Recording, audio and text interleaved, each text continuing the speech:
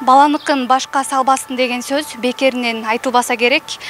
Бетинен жабыркап келген үч жаштагы элима учурда жардамга муктаж. Биздин редакциябызга элиманын апасы наргиза эже жана атасы кайрылган. Саламатсыздарбы? Саламатчылык. Келиңиз алгач эле кызыңыз жөнүндө айтып берсеңиз. Кызым эки миң жыйырманчы жылы төрөлгөн он тогузунчу августта. Бул рожденный. Узиден да эчтеке деген эмес түшкөндө. Анан төрөлгөндөн кийин билип атабыз төрөлгөндөн кийин эле сразу эле липома деп коюлушту ошо врачтар эле детский врачтар. Эртеси күнү жалга бардык. Жалга барып эле. Аяктан көрүндүк. Анан шишик деди. До конца айткан жок эмеси эмне экенин. Бул диагнозду эч ким кое албай койду. Эми эмнеден пайда болду эмнеден чыкты. Бул чочугандан деп коюшту. Анан биз да кетет деди. Анан биз ошол үмүт менен хорошо кетет экен деп жүрө бердик тияка бардык. канча жыл жүрдүңүздөр? Бир жылдай өтүп кетти. Төрөлгөндөн кийин бирге чыккандан кийин операция болдук да. Анан ошо жал мына кел анан кырк күндө кел тияка кел деп атып эң анда бир профессорго бардык. Атын унутуп койдумчу ал профессордун ал профессор бизди ошо бир жыл өткөндөн кийин алкалоокко жиберди детскийге анан детскийге барсак эле сразу эле аяктын заведующийи өзүнүн эме эмелери менен сразу эле алабыз деди. Эртең келгиле деди. Как раз кайсы ай болуп калды? Эме числосун унутуп койдум. Сразу эле алышты. Анан ровно бир айдан кийин аяктан операция кылышты. Аяктан дагы еще мен күчтүүмүн деген врачтар чакырды. Акбар жороев деген. Ошо келип кыргызстандан эле ооба биздин мыкты мыкты деген врачтар көп экен. Эч кимибиз ооругандан кийин билбей турбайбызбы ушул кызымдын артынан ким жакшы экен ким эме экенин билдик да. Ошо онкологдон жардам беришти бизге. Ошол бир жолу операция болду э?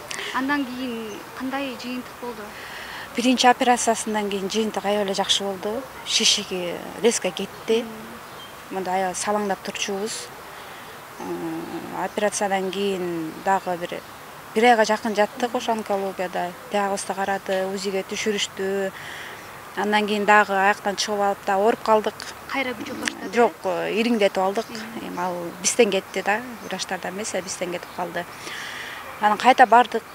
Барып кайта алар ошо эмесин кетирип беришти аябай катуу жардам берди деп айтсам болот да. Онкологиядан канча жолу операция эки жолу кылып беришти эки жолу ооба эки жолу операция кылып берди эки жолу ошо акбар жороев келип өзү кылып берди эки жолу диагнозу кандай диагноздуку биздики эме липома плюс фрагмент правый лицада опухоль. Деп коет экен названиясы көп экен көбүнчө липоматоз деп эмеден. Жабыркап анан шишип кетет экен да ооба ушу бет половина лица. половина лица биздики эме чувствительный жок бизде бир кашык кыймылдаса бир кашык кыймылдайт ошонусу кандай учурлар болду мына эки жолу операция жасатыпсыз анан? Кыйналган жоксуздарбы баягы ыйлап да калган учурлары болду да балаңыздын ооруп калган учурлары болобу болот да конечно бул эне үчүн тейп кандай десем. Бул оор эле экен негизи эне үчүн бала ооруганчы айла жок мындай эч ким күткөн эмес мындан дагы эки балам бар. Алар жакшы эле төрөлгөн анан бул как раз коронавирустун убагында төрөлүп калды да. Может ошондон деп да өзүм эметип койдум да. Анан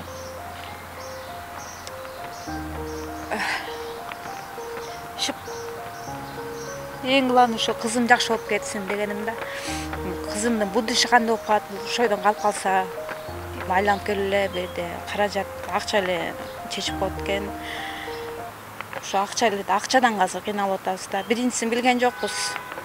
Тияк бияк бир туугандарыбыз жардам берди. Ошо менен еще бекер жасап беришти бизге. Экинчисинен ошо тоже я помогу деди тоже жардам беришти.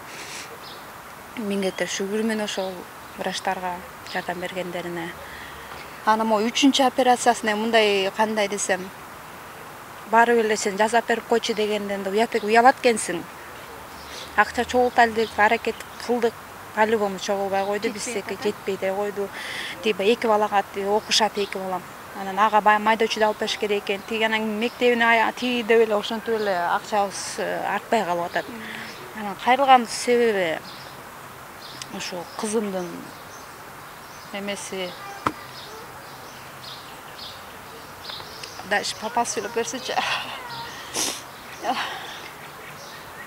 кыз киши болгондон кийин өтө эле кыйын экен эркек бала болсо билинбейт эле.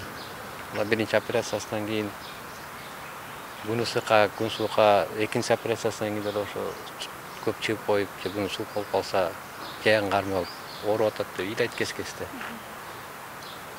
анан эркек болсо билинбейт эле дегенди жанагыда кайталап атам ошо.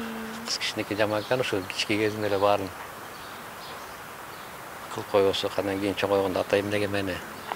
Операция кылдырбай койдуң эмнеге мени мынтип койдуң дегенде кызыма сөз кылгым келбейт. Эмне дейм анан да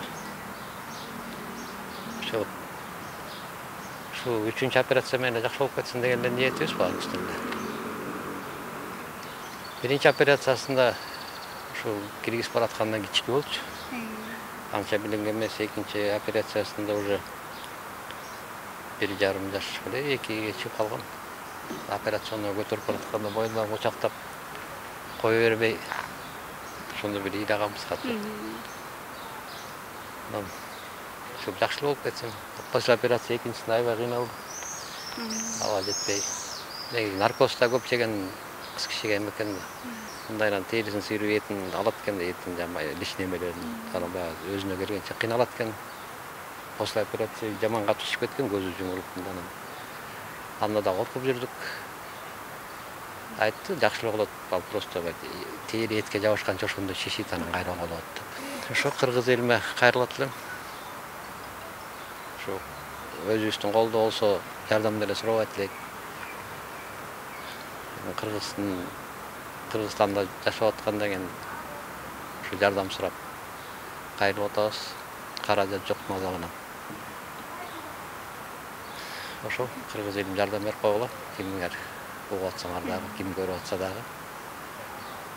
Чоң рахмат. Көп түкүрсө көл болот демекчи. Үч жаштагы элиманын апасы жана атасы кайрымдуу кыргыз элинен жардам сурайт. Жардам берүүнү каалагандар болсо төмөндө байланыш номерлерин калтырабыз жардам беришиңиздерди суранабыз